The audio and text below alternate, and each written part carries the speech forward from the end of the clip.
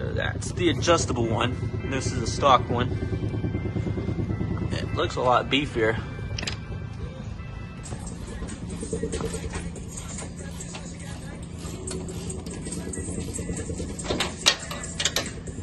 Remember when you pop that out.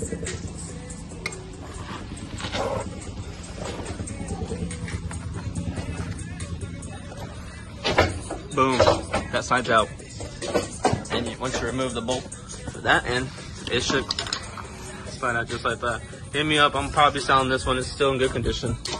I just didn't need it, I needed an adjustable one.